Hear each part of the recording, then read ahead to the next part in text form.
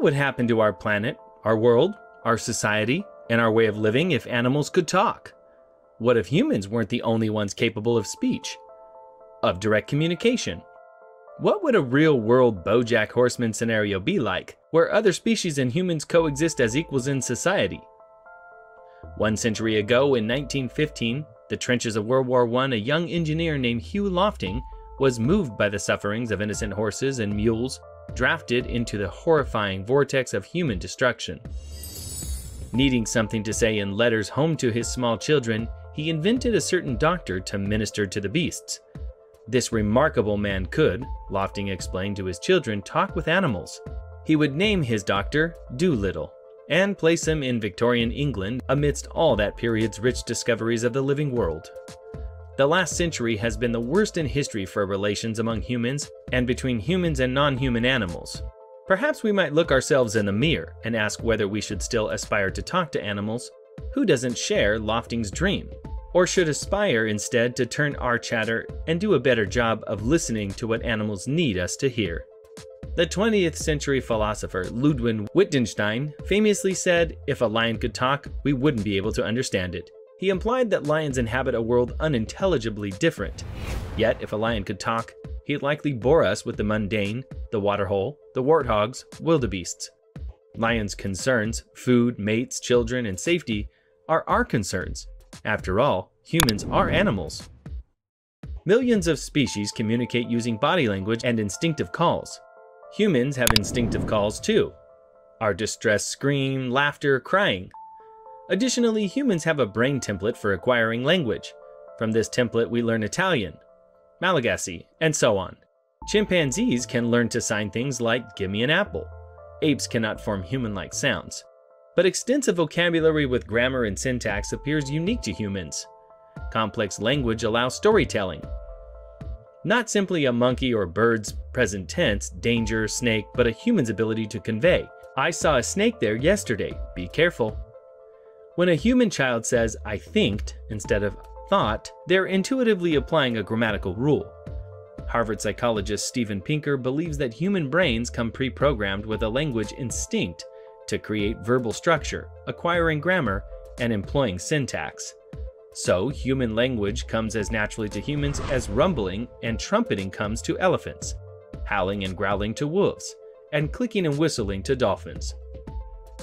The implications are unsettling.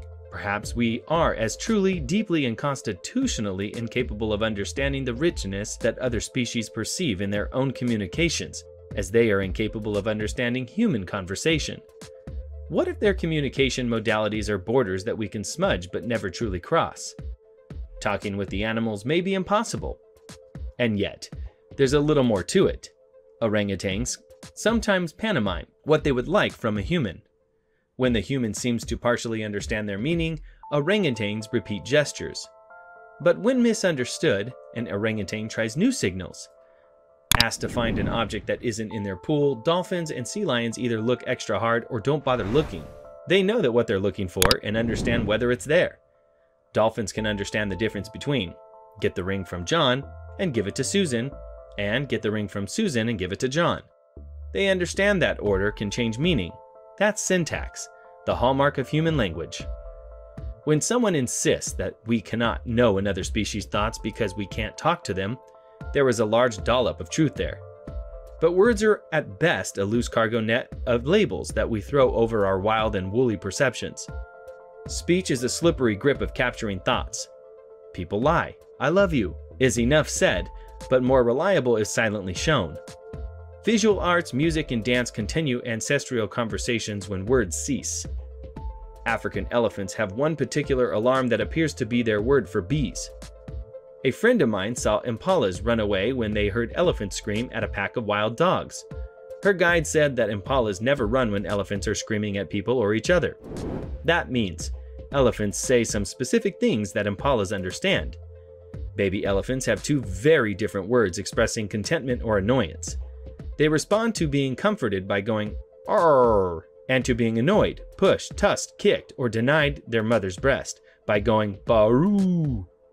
Certain rumbles by mothers have their immediate effect of bringing a wandering baby back to her side. it seems fair to interpret them as saying, Come here. Vervet monkey use calls with distinct meanings. In other words, if a dangerous cat is detected, the alarm sends everyone up a tree. When a dangerous eagle flies over, the monkey's alarm call causes the monkeys to look up and run into ground cover, not up a tree. They don't utter alarms for eagle species that don't prey on monkeys.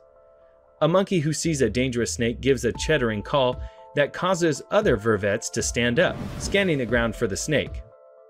All told, vervets have words meaning leopard, eagle, snake, baboon, other predatory mammal, unfamiliar human, dominant monkey, subordinate monkey, watch other monkey, and rival troop. Tidy, putty-nosed colobus monkeys, and some others add information by the order of calls. If the threat is far off, Campbell's monkeys introduce their alarm call by a sort of adjective, a low-pitched boom that means basically, I see a distant leopard and am keeping an eye on it, just be aware. Without the boom, the alarm means urgently, leopard here. They have three call sequences for leopards and four for crowned eagles. When a capuchin monkey in Trinidad left his withdrawing group, came into a tree over our heads, and started breaking branches and throwing them at us, he was clearly communicating, go away. One morning our guide said he heard a bird known as a motmot saying snake. Sure enough, we soon found the exciting motmot up in some high branches, flutting around a Cook's tree boa, alerting other birds and blowing the snake's stealth. Rutgers professor Joanna Burger's amazing parrot, Tito, gives different calls for hawk, person, cat, or dog in the yard. I know what's there, she tells me, before I look. When I'm at my own desk, I can tell by the barks whether my two dogs Jude and Chula are barking at someone walking past alone or with a dog, or at a delivery person, a squirrel they've treed, or each other in mock combat. Our coarse words, screech, bark, for their nuanced voices and vocabularies hobble our understanding of their understanding of what they mean. It's not as if they're not telling us, but we remain tone deaf mostly. We happen to be talkers, but most of what we jabber about is so trivial. Think of the words wasted. Think of the way truly important things can be expressed with open arms, a fingertip, a smile. No need for sentences or syntax. Trillions of creatures survive in highly demanding lives, clearly signaling their intentions with neither adverb nor gerund. The silent power of true intent. A breakthrough in translation was recently announced by researchers. Turns out all species of free living great apes use gestures to communicate. The gestures used are understood by all members in the group. They're directed at specific individuals who understand them, and they're used intentionally and flexibly a woman named Dawn Prince Hughes, who is an autistic child, had difficulty acquiring language, found a kind of identity in the Seattle Zoo with a group of gorillas, eventually getting employment as their caregiver. She calls the gorillas the first and best friends I ever had, people of the ancient nation. When the bonobo Kanzi met Prince Hughes, he watched her mannerisms for a brief while and then he signed, You gorilla? Question? Perhaps the Dolittle dilemma has been miscast. Maybe instead of wanting to learn to talk to the animals, our greater need is to quiet down and learn to listen. It might be good for us too. Psychological research has shown that belief in species hierarchies, the beliefs we're almost universally socialized with, tend to overlap with support for racial and gender hierarchies as well. While it's unknown whether there is a casual relationship between the two attitudes, so that being closed minded towards animals actually fosters intolerance towards people. It's a plausible and intriguing thought. Perhaps compassion towards animals would promote fairness among humans. Animal politics would also bring environmental thinking into step with our knowledge of animal minds. Many modern environmentalists have urged people to see nature as existing all around us rather than in discrete, distinct pockets of idealized pristineness. As Emma Marris argued previously in this journal, separating humans from nature impoverishes human life.